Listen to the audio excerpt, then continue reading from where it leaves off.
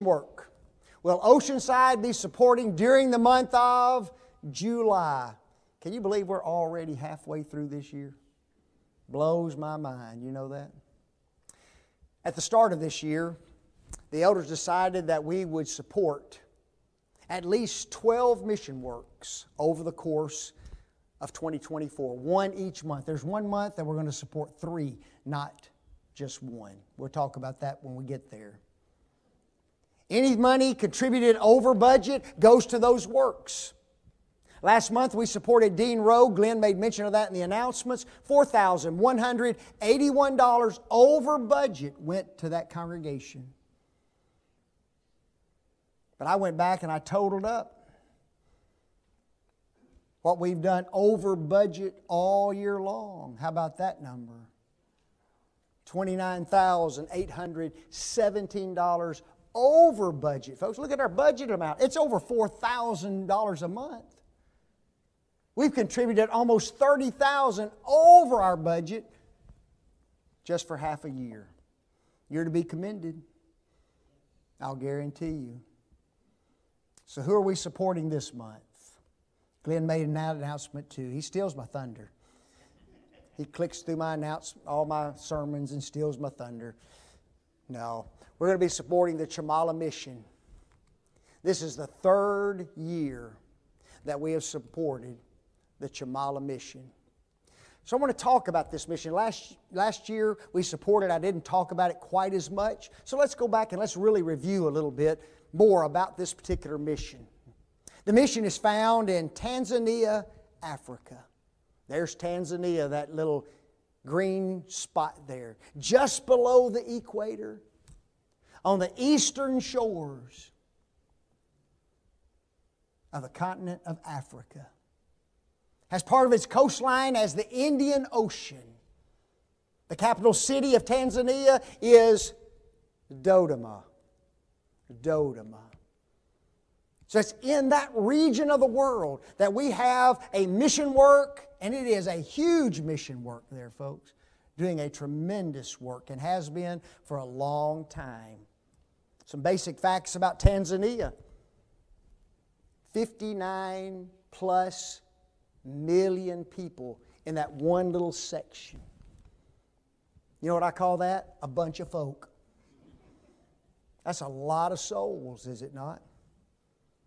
There are 120 different indigenous peoples in Tanzania alone.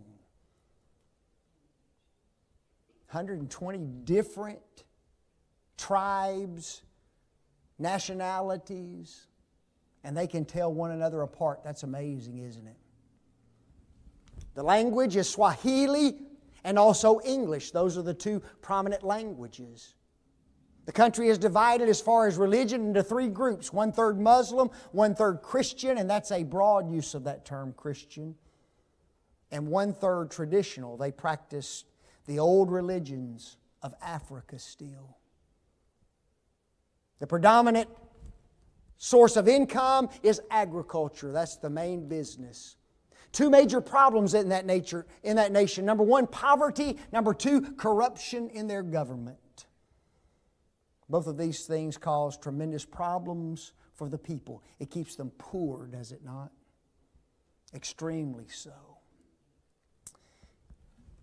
We go all the way back to 1948. A man by the name of Eldridge Echols, a gospel preacher, wanted to go to Tanzania and preach the gospel.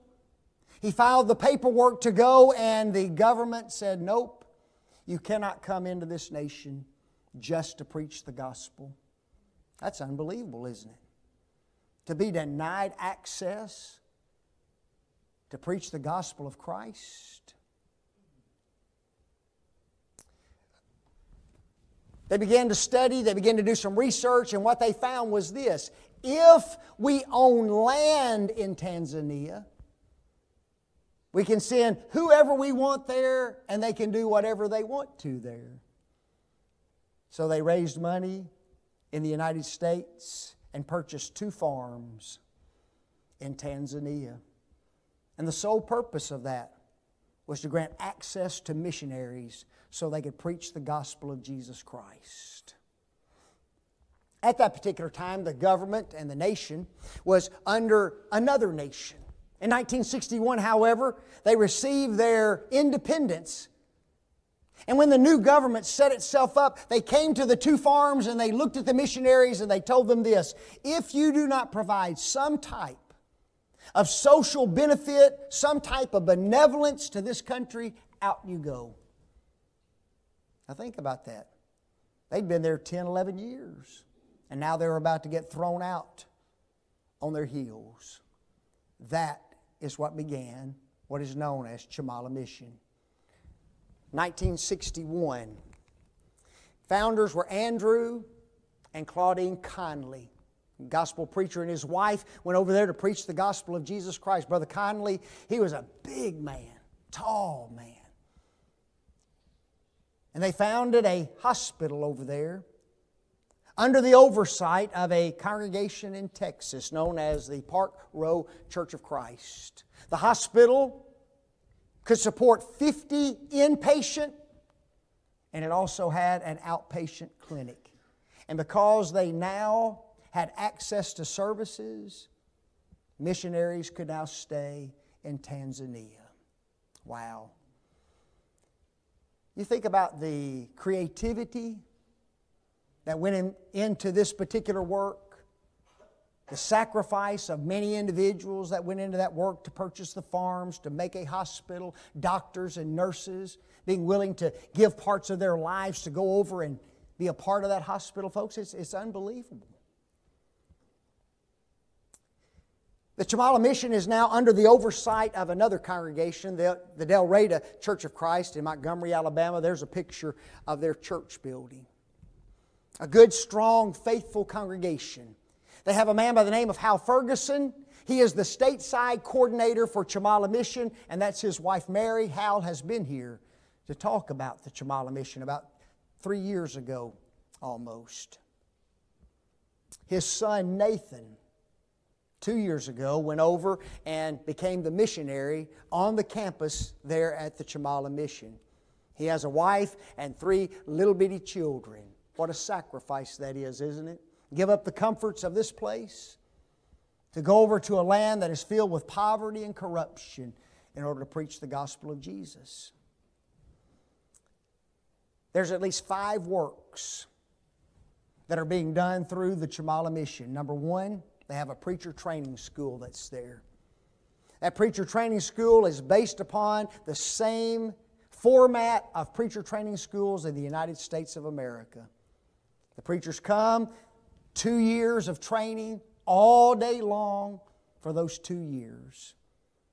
Once they graduate, they are then sent out into the mission field in Africa itself. Very few of them come to the United States of America. There's still the hospital that's going on there now.